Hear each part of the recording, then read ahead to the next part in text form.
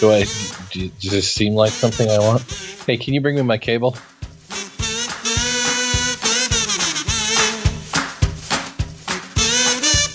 This week on Dueling Review, we take a look at Peepland number two, written by Christa Faust and Gary Phillips, with art by Andrea Camerini. With the evidence in hand, Nick and Roxy begin piecing. With evidence in hand, Nick and Roxy begin piecing together movements of the Central Park Slayer, but the New York City Police Department have another suspect in mind. Meanwhile, the real killer steps up the search for the missing videotape. Hey, let's Yeah. talk about sex booths. Let's talk about sex booth ease. Got to be real clear on your enunciation on that one. What? Booth, Booth ease. ease? Yes. Well, no, this is an it's an adult joint. I mean, This is an totally- so- comic. So Peepland number two is Mhm. from Titan Comics under their new imprint, Hard Case Hard Crime. Case. Hard case crime. And the hard case crime stories are very adult in nature and very uh, crimey in nature. She was Um, a brunette, the kind of brunette that well, would she make was a bishop was a- kick a hole in a stained glass window. she's a brunette that when she takes her uh, wig off, she's a blonde. right. So issue one kind of sets up the story, and that's one thing I, I I know about Peepland right now is if you don't read issue one, you're gonna Yeah. be lost in issue two. Um, but the gist is there's a um, pornographer, one of those real life pornographer guys back in the 80s. This all takes place in like One of 88, those 86, somewhere. Gonzo guys who just runs around. One of those gonzo porn guys. If you've ever seen Boogie Nights, and you know Mhm. towards the end of his career, the Burt Reynolds character was trying to do the um, the limo porn stuff where they'd pick up people Yeah. on the street and do that. That's kind of what this pornographer guy does. And he catches uh, a murder on tape, and he is killed uh, trying to recover the tape. But he has passed the tape off to a sex booth worker who works in a sex booth uh, shop called Peepland.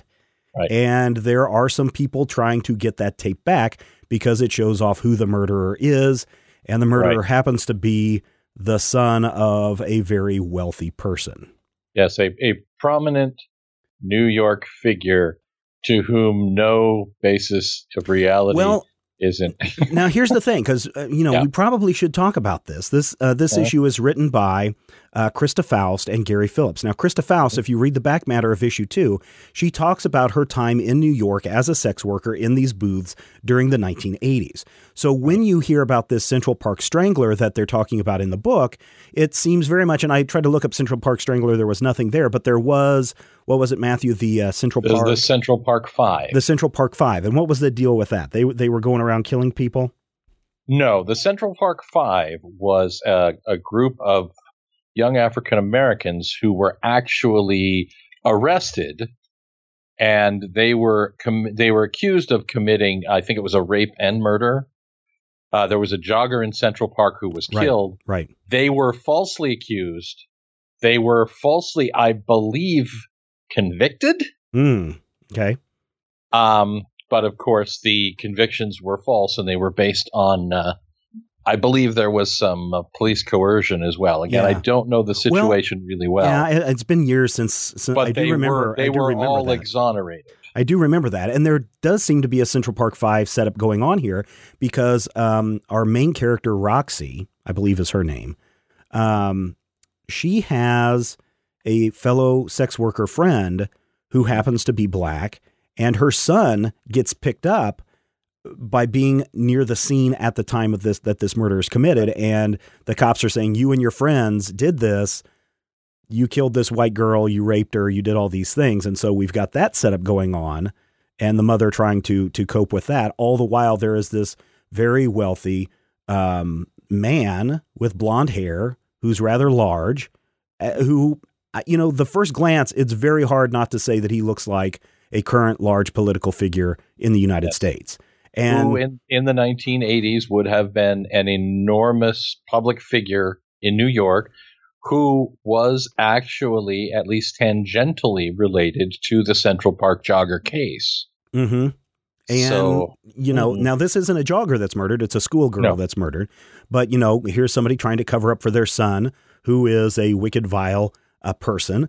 And it, man, it's just it's fascinating from this point where we're in, we're literally into the second chapter, where the thugs that, that are working for Mister Big, we'll just call him Mister Mm-hmm. Big, um, are looking for the tape and they're knocking over everybody that uh, might have a connection to it. And they found out that Roxy may have the tape because uh, the the pornographer ran into her booth the night he was murdered and mm-hmm. shoved the tape in there. She took the tape, and with her boyfriend, they've discovered who the murderer is. Unfortunately, because the boyfriend's VCR machine, the VHS, you know, back in the right. day, Matthew, that was the the way yeah, that you had to watch your videos. Back in '86, it definitely was. Um, but um, uh, they've had to take the tape to a repair guy across the hallway that they know who who lives in their building because the boyfriend's uh, machine ate up part of the tape and they know that this tape is valuable and important and is going to cause a lot of problems. Problem is the uh, the guy that's going to repair the videotape watches it, sees the murder, sees the very rich wealthy guy with his mm-hmm. beautiful uh, uh, trophy wife and their son on TV and is like, "Oh, time for me to make some money." Yep. Mr. Went, I believe, is Mr. Big's name. And of course, he foolishly goes straight to that man's tower. Mm. Oh, yeah, he does uh, have a tower, doesn't he? A whole tower he does. to himself. He, he has a tower on Fifth Avenue, and he hands him a copy of the tape and a ransom note requesting a hundred dollars or a hundred thousand hundred dollars hundred bucks yeah hundred thousand dollars in unmarked bills and so, uh, and then probably the i think the weirdest slash saddest part of this issue not weird but we get to see all the players, and there are a lot of players in this story. We get to see Christmas Day in Hell's Kitchen, in Uptown, in Midtown, in the Bronx, in Harlem, yeah. Uh, in the meatpacking district, and we get to see, you know, everyone's lives, the the good, the bad, and the ugly of that, in what I think is a brilliant sequence. Uh, yeah, in the back of this really, book. Really well done. And this whole uh, this issue, especially, but issue one as well, feels very authentic and yeah. you know, I don't know what it's like to live in New York in 1986. Well, you know, it was at this, one point the murder capital of the world. Definitely in the 70s. I right. think it was still as bad in the 80s until Giuliani cle- cleaned it up. Uh, where right. in in Times Square, um, where today people go and celebrate uh, uh, New Year's Eve, um, right. you know, it used to be the sex district. Well, and you know, there's also the 90s. All the the murders moved to Santa Carla, the yeah. new murder capital of Damn the world. Damn vampires.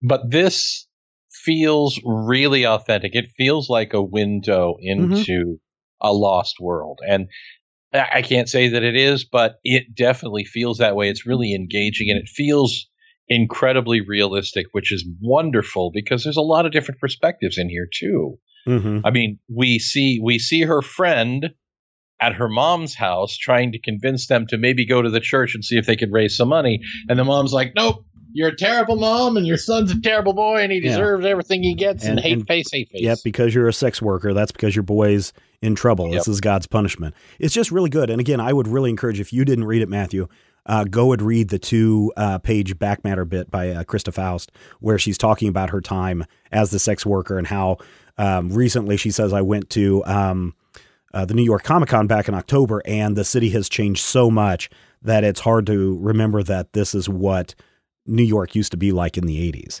Yeah. It's fascinating. And you're right. So, and that brings this authenticity, this credibility to the story that makes you wonder are we do we really know what happened back in back then maybe she knows something more than well i mean she's letting on there's clearly an attempt to bring those contemporary themes and characters into play. And I think that's part of the reason that this is so engaging.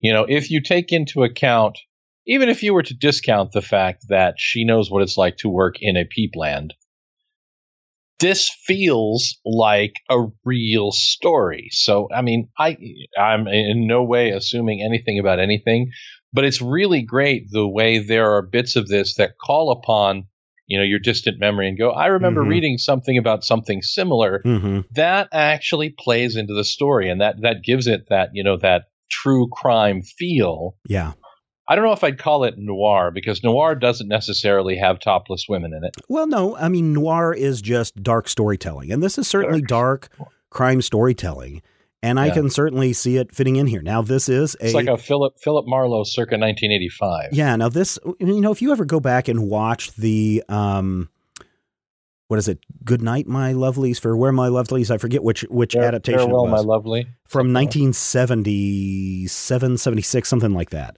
Uh, mm-hmm. It's got um, Mitchum, Robert Mitchum in there. That is probably the hardest portrayal of Marlowe that you'll see in movies.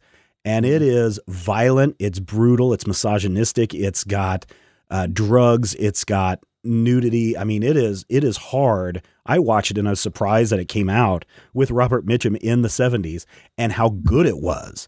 Um, just because they're just saying, "Hey, let's let's not treat this famous fictional detective with kid gloves. Let's say right. how it was in the books." And it's it's very good.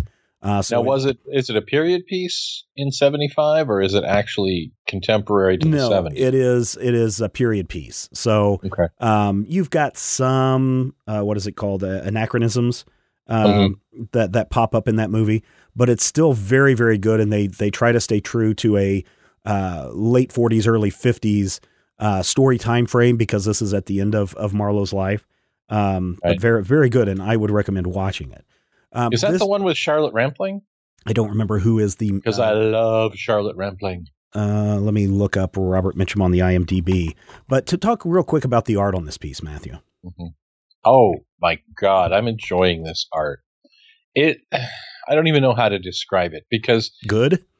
Yes, very good. There's elements of like a Peter Chung in here. Mm-hmm. It doesn't. It's not superhero storytelling art there is not a superhero figure to be had in this. And even the girls who are working as sex workers aren't like idealized. There are points in this where you're just like, man, everybody in this is gross. And it's yeah. so neat. Yeah. The, the art is really well done. But again, this is a mature book.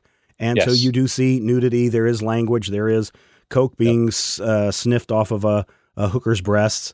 Mm-hmm. um, mm-hmm. and it it doesn't hold back, and that is that is yep. the surprising thing uh, about this. So, and when Roxy goes to try and get a favor from the neighbor with the good VCR, she has to agree to shoot ads for his phone sex service for him. Yes, including uh, nine seven zero P E E E. The extra, the extra e, e, is for extra P. Extra P, and that's yeah. just gross. Yes, uh, uh, yes. Charlotte Rampling uh, does play Helen Grayle in Farewell My Lovely, 1975. So Robert I Mitchum. have seen that one. I didn't remember it being Mitchum though. Yeah, it's uh, it's good. Wait, it's, I'm thinking of Joe Don Baker as Mitchell. No, no, no, not not Robert. Robert Mitchum is the one from Cape Fear. That's right. Yes, uh, yes. But watch it if you get a chance. Just watch it. It's really good. I liked it a lot. Very just like I liked.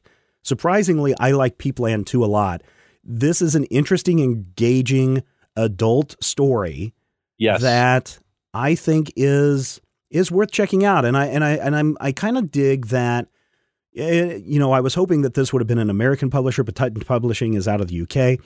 Uh, but they've decided to take on this hard case crime imprint and do harder, more adult uh, tales. And yep. I kind of dig it. Uh, I I like it. I haven't read all of the. Uh, uh, I think they have three stories going on right now under their hard case crime imprint. And mm-hmm. if they're like this one, I'm kind of sold. This is really pretty good.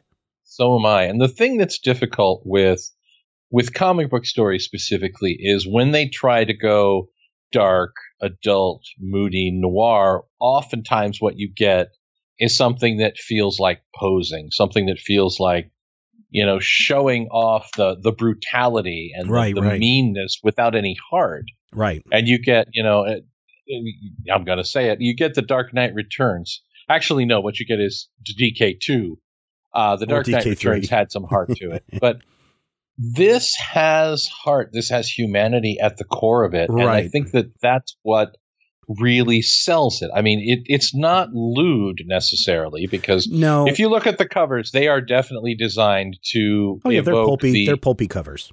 Yeah, they're to evoke the the sexy, sexy pulp mm-hmm. novels that my mother's second husband used to read, and that's cool and that's fine. But there's uh, everyone in this, from the murder victim to even the evil guy with the bouffant, everyone feels like a real character, and it feels like there are consequences and reality to it. Mm-hmm. So Roxy doesn't feel like you know, kind of a ooh, look, she's a naughty character. No, she's a person trying to get her life together.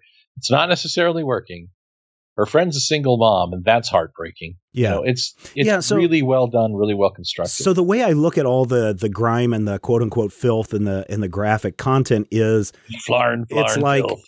you get up in the morning, you go to the bathroom, you take a shower, you get out of the shower, and you're standing in front of the mirror and you're naked. Your nakedness isn't gross or you know sexy or titillating. It's just life. It's and right, for of- these sex workers who are caught up in this story, their job just happens to be landed in this story. Their their their job and the fact that they take off their clothes and that Right. the uh, ne'er do wells in this story, the Mr. Biggs of the story, uh, have sex with hookers. That's their nature. That's what makes this story more, for lack of a better word, more fleshed out. right. Uh, so it's it's not central to the story. So if you're going in here going, "Oh yeah, we're going to see lots of boobies and lots of sexy sex going on," it doesn't have that. At least, especially Yeah. not in the second issue. First issue has a little bit more uh, sexual talk and, in, and innuendo stuff because it does take place in the sex shop when uh, the pornographer guy comes in to drop off the tape. Right. And the nudity and the sexuality that is there is what I like to call requiem for a dream sexuality. Oh yeah, yeah, yeah, yeah, yeah, yeah. It's not fin- final- there for Final scene, Requiem for a Dream. Yeah, it's it's not there for your enjoyment. It's part of the story, and in a lot of ways, it's it's you know it's not that horrifying. yeah, no, no. But it's meant some of it to be very horrifying and Mhm. very off. So that is, uh, I'm giving a thumbs up to uh, Peepland number two from Titan Comics. Uh, go check it out. The art uh, by Andrea Camerini is really Yep. good, and the story is good too. And I and I think I'm going to finish this series as it plays out over the next couple of months. So am I. I hope they keep sending it to us. Yeah. Oh, I'm sure they will. That's Titan. They're they're pretty good. Um, Coming out next week from Dark Horse Comics, we have Aliens Defiance number seven, Predator versus Judge Dredd versus Aliens number three. Why am I only finding out about this now? Predator versus Judge Dredd versus My Little Pony. Oh man, wouldn't that be great? IDW, get on that. Uh, Yep. Dark Horse Comics also has World of Tanks number three out next week. DC Comics has Aquaman number 12, Batman number 12, Batman 66 meets Steed and Mrs. Peel number six of six. Uh, There's let's a lot of sixes in there. There are a lot of sixes in there. We also get six, uh, six, six. Cyborg number six. Flash by Mark Waid, trade paperback, volume one. Go get that. It's a $25 book. I, I would, I really seriously. Uh, I believe that is the, whatever Waid's first run in, in the story was. Born to Run is Waid's first arc, I believe. Then that will be in there. Definitely worth picking up. Nice. Flintstones number six, Green Lantern number 12, Injustice, Gods Among Us, year four, trade paperback, trade paperback volume two. Oh, Matthew, get your hands on that. There's also Injustice Ground Zero number one and Superman number 12. Superman number 12. And that's the old new Superman, not the new old Superman. I don't know which one is which any now because I know the the The post new rebirth 52 Superman. the post rebirth Superman is dead, right? Because he The blew new himself 52 up. Superman is dead. Okay. The post rebirth Superman is actual Superman before Right. 52 Crisis on Infinite Earths. I believe if you look at the time frame, he is actually post crisis Superman because he's married to Lois Lane, which didn't happen until Oh, right, 95. right. Right. So, he's this the is Superman from uh, DCU Prime Earth. yes. Mhm. It's so confusing. It could be worse. I mean, you go back any further and you got Earth 1. There's six different places called Earth 2, Stephen. Yes. IDW Publishing has Atomic Robo in the Temple of Odd number five or Ood number five, The Duck Mhm. Avenger number two from Disney Comics, Mickey Mouse number 15, Jack Kirby Pencils and Inks hardcover. That's a $50 book, but might be worth checking out. Micronauts Uh, number eight also arrives next week, as does Star Trek New Visions Special Edition uh, Volume 4. I'm not sure I like those New Visions books Yeah. where they What's just wrong? basic well they basically just take the video you know take stills from the from the show or from the movie and then they just put words on top of it just seems weird It's a, it's a Fumetti, man. i they do guess that It's a European thing, man. Fumetti is like a, a well and truly crafted uh, device. yeah but you know what i bet if you did in it America. i bet if you did it and put it up on the web people would call you like plagiarizer No, you have the rights to use it. I mean, Paramount owns those stills. And no but i'm saying if you did that if you did that Well, sure, I don't own them. yeah But here's the thing. You know what it does? It gets around that eternal question of why doesn't Scotty look like Scotty? It's an actual freaking picture of Scotty. that's true that's true That's true. How bad can it be? It's a picture of Scotty. yeah image comics has arclight number three cannonball or yeah can no cannibal number three Cannonball. Not cannonball eclipse number four yeah. glitter bomb number Yeah, yeah. four Cannonball. Motor Crush number one, Ringside number eight, Violent Love number two, and Wicked Divine number 24. Marvel Comics has the all new Marvel's Uncanny number one, Champions number three, Clone Conspiracy three of five. Ooh, Clone Conspiracy. Uh, Monsters Unleashed tie-in postcards. You get a bundle of 100 of those for five Monsters bucks. Monsters Unleashed tie-in They- you know, um, what is I, I, I was just you know, right now Marvel is just like Monsters Unleashed, Monsters Unleashed. There's a Monsters Unleashed party coming to your local comic book store. Monsters Right. Unleashed, a whole new look at monsters in the Marvel universe in the new Right. 2016s. They seem to be Right. putting an awful lot on Monsters Unleashed. Well, it's their new big deal. I mean, they they do this. They throw their weight behind different initiatives and different things, and some stick and some don't. You had uh, Marvel Now. You had Heroes Reborn. You had Marvel Now again. Marvel Now Air Now. Are you looking forward to um, Marvel Kaiju Attack the Marvel Universe?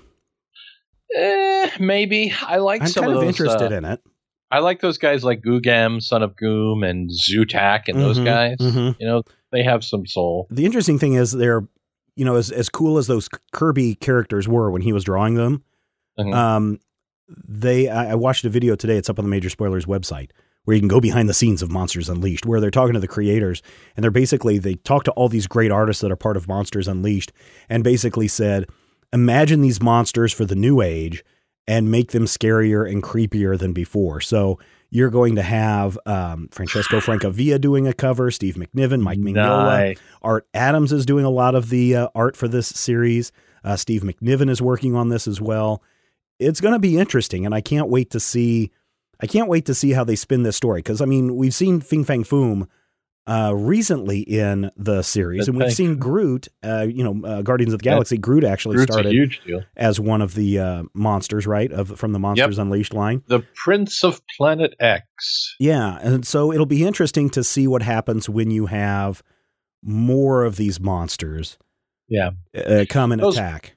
those pre-code monsters have been in and around the Marvel universe. I mean, uh, Xemnu the Hulk is one. There's a bunch of these guys that keep popping up repeatedly because they were created by Kirby and Ditko and and Stan Lee in the 50s when superhero comics didn't sell.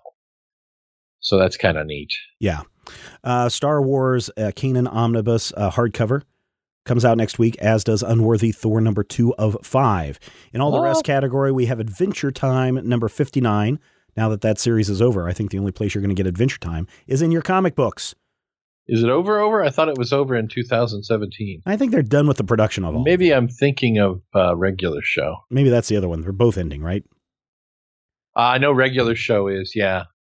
Uh, Belladonna number three comes out. Big Trouble in Little China Escape from New York number th- uh, number three comes out.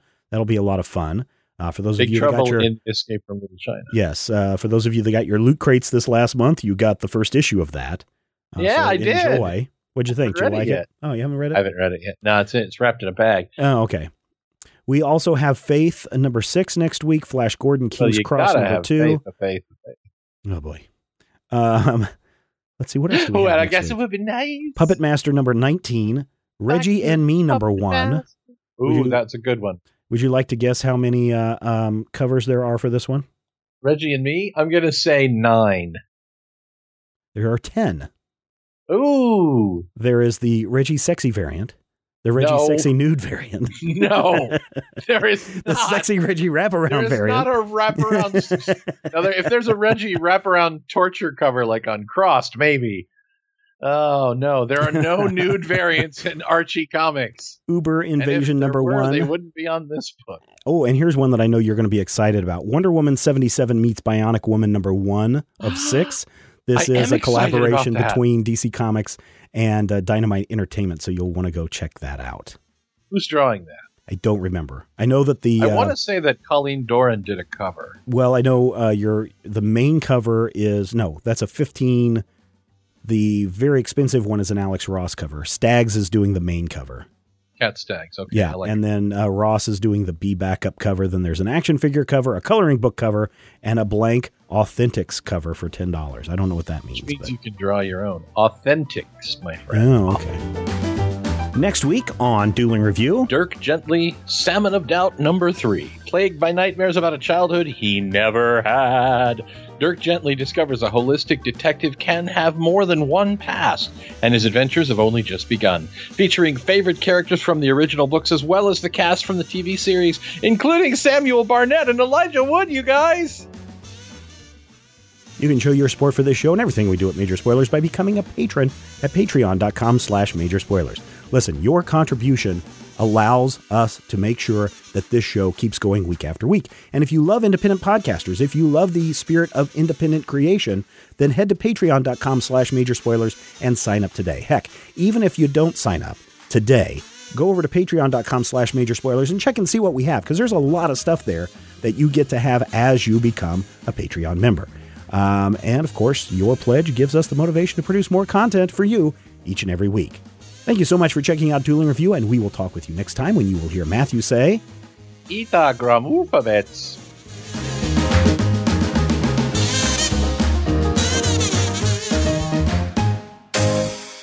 This podcast is copyright 2016 by Major Spoilers Entertainment, LLC.